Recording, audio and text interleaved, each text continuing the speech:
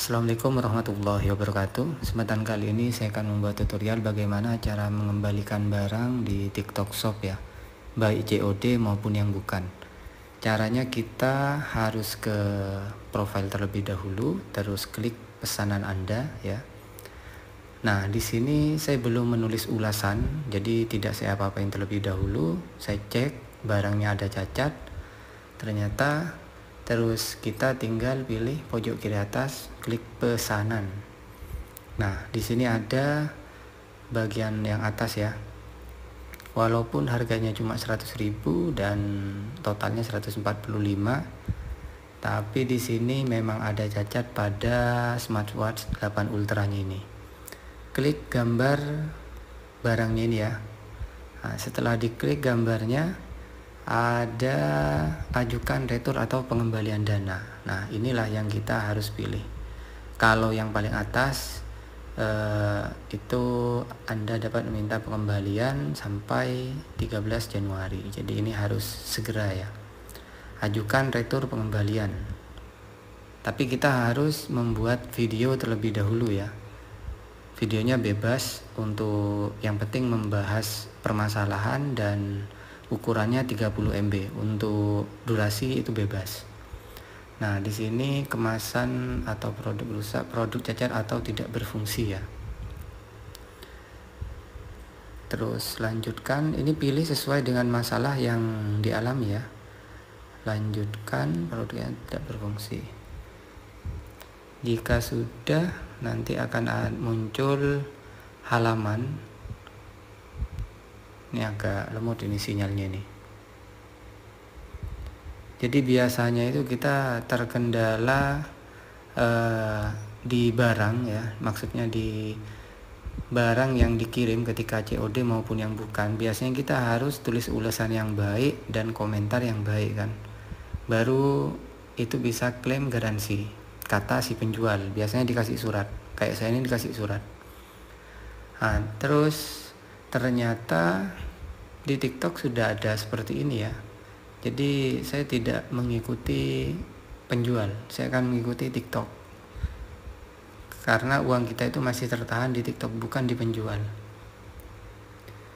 Jika sudah unggah gambar atau video. Nah, ini kita pilih di sebelah mana uh, file yang kita simpan ya yang ini punya saya. Nah.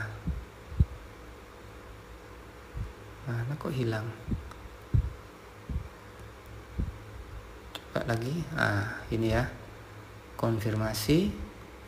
Ini ukurannya harus 30 MB maksimal. Untuk durasi bebas pastikan nomor resi itu ada. Ter maksudnya eh, tervideo juga masuk di dalam video. Nomor resinya itu disertakan. Resinya apa barangnya seperti apa cacatnya. Jadi dijelaskan.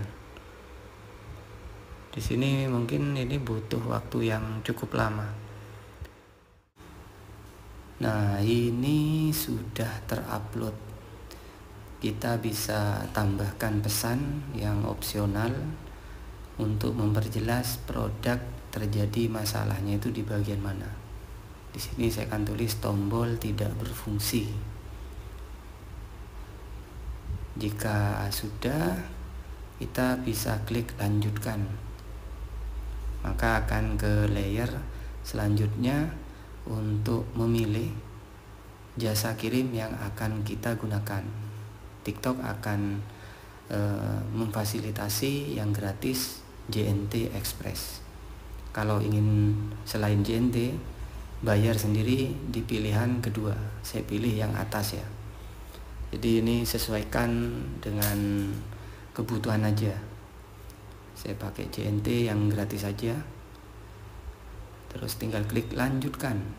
Lalu kita pilih dana akan ditransfer ke rekening mana atau ke pembayaran semacam OVO di sini kebetulan ya terus ada dana dan lainnya saya pilih yang OVO baru konfirmasi jika sudah dipilih Nah, dana yang akan ditransfer 145.005 rupiah.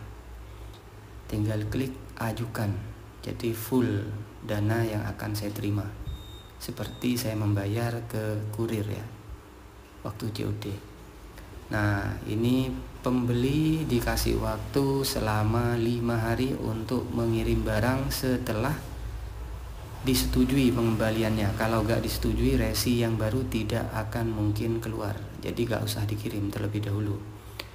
Jika sudah jelas klik mengerti. Jadi kita harus menunggu persetujuan dari penjual. Intinya saya akan mengikuti peraturan yang ada di tiktok. Seumpama ini ditolak saya pasti akan ajukan kembali dengan alasan yang uh, logis tentunya ya, yang sesuai kayak gitu. Nah untuk pengecekan notif ini ada di bagian kanan biasanya, nah, di tab pengembalian. Lalu tinggal uh, pengembalian ini untuk lanjutan apa namanya persetujuannya. Di sini ada ada histori antara penjual dan pembeli. Nah, di sini ya. Ada edit refund request dan pembatalan pengajuan pengembalian jika tidak ingin mengembalikan seperti itu. Tidak jadi intinya kayak gitu ya. Nah, seperti ini kita tinggal tunggu notif diterima atau tidak. Jika sudah baru saya akan lanjut lagi videonya ya. Nah, ini saya ada notif tapi tidak kelihatan ya kalau nggak buka TikToknya pesan dan ini ada ulasan. Lihat perincian. Nah di sini peninjauan platform sudah direspon ya dan tidak ada notif ini. Diperlukan bukti lebih lanjut untuk pengajuan perselisihan. Tampilkan detail. Klik ya. Nah di sini uh, admin TikTok ya dan ini harus ada foto produk yang diterima memperlihatkan label pengiriman dengan jelas. Oke video unboxing yang memperlihatkan dengan jelas label pengiriman. Untuk video unboxing pertama eh, pastinya kita ketika membeli nggak mungkin tiba-tiba langsung video unboxing. Tidak mungkin karena ada beberapa penjual yang memang tidak melabelkan harus video unboxing di paketannya. Kalau ada saya pasti buat video. Tapi ini kan nggak ada jadi setelah di unboxing baru bisa di video seperti itu ya. Nah ini cara-caranya jika ingin mengunggah.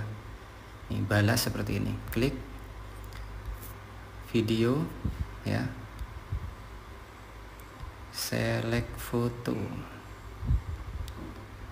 Nah di sini yang satu dua tiga jadi ada foto ada video. 30 MB juga kalau nggak salah ini ya harus ya. Saya udah kompres ke 30 MB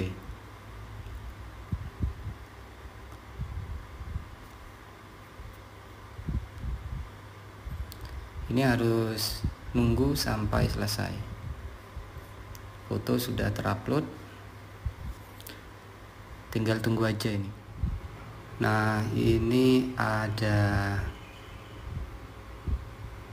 detail pengembalian. Ada balasan ya dan masih sama jawabannya ini. Bukti foto dapat diunggah mengikuti langkah berikut. Video unboxing saat pertama menerima produk. Halaman detail. Nah, ini yang kedua yang foto sudah gak ada. Video unboxing gila pak. Video unboxing saat pertama. Ini maksudnya gimana? Jadi ini dia minta video unboxing. Kalau gak ada ya sudah. Wassalam. Apa namanya uh, dana yang sudah kita keluarkan. Padahal sudah saya lampirkan loh ini saya akan coba upload video yang sama ya seperti di atas. Apakah masih tetap? Kalau tetap ya entahlah. Ini bintang nol kalau kayak gini nih. Kalau di Shopee gak, gak kayak gini. Dia ngelihat bungkusan gak ada tulisan untuk unboxing aja sudah. Uh, ngerti? Berarti boleh dibuka kan seperti itu. Tapi di TikTok gak tahu kok beda ini. Saya akan coba berusaha lebih keras lagi ya sudah saya balas ya. Hasilnya setengah sabar. Sudah setengah sabar ya ini. Foto sudah video sudah.